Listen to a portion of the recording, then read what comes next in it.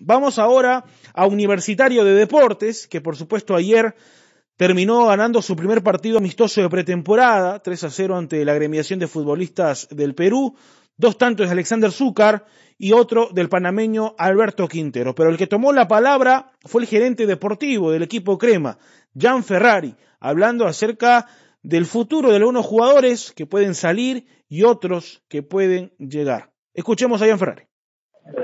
Lo que estamos haciendo en el caso de, Diego Chávez es tratar de recuperar a un muchacho que, que bueno, tenemos entendido que, que ha sido pues un momento eh, complicado el que ha pasado en toda su carrera dentro del fútbol y que a comparación de otros que ya han tenido varias oportunidades, en el caso de él, él cometió un error, la pagó muy caro, se ha ido a, jugar a, lugares pues este, realmente complicados, complejos, pero que nadie discute eh, las condiciones que él tiene, ¿no? Futbolísticas. Entonces, en este caso estamos tratando de, y como repito, en este caso estamos tratando de recuperar a un futbolista con unas condiciones que no creo que nadie puede discutir.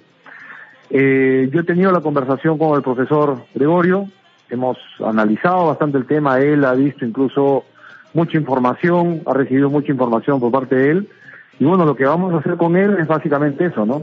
¿Y qué, es lo que el profesor... Generar, generar una oportunidad para tratar de recuperar eh, a este chico. Entonces, y esto, es, y esto es muy sencillo, o sea, si el chico comete un error, listo. O sea, se acabó el tema, ¿no?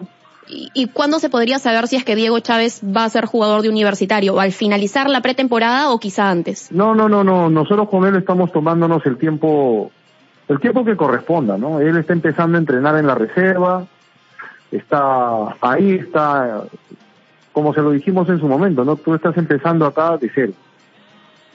Y va a depender de él, este, si es que, si es que la oportunidad se la, realmente se la gana o no. Así que este es una, este es, acá también un tema de enseñanza. Así que queremos justamente eh, generar ello, ¿no? Bueno, acá ya parece se tiene una costumbre que se den información sin que haya algún tipo de, argumento, de sustento, ¿no? Por eso te llamamos, ¿ah? Por eso te llamamos, para, para tener la eh, fuente Sí, porque cuando, cuando se ve, pues, por ahí en redes, ¿no? Este, alguna información de, lo han propuesto.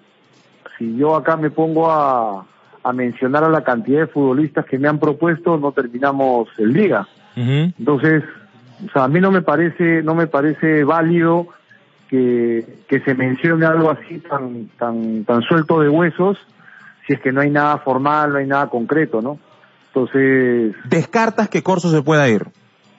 Es que en ningún momento ha habido ningún tipo de, de, propuesta formal desde ningún, desde ningún lado, sabiendo además que el jugador este tiene, tiene contrato, ¿no? Entonces, o sea, me parece de muy mal gusto y vamos a, habría que ver ya de dónde parte esa información, ¿no? Ahora yo entiendo que a veces hay algunos representantes que, que también pues este toman toman una ruta que no corresponde, ¿no? Pero bueno, tratan pues de, de buscar sus propios beneficios también ahí, ¿no?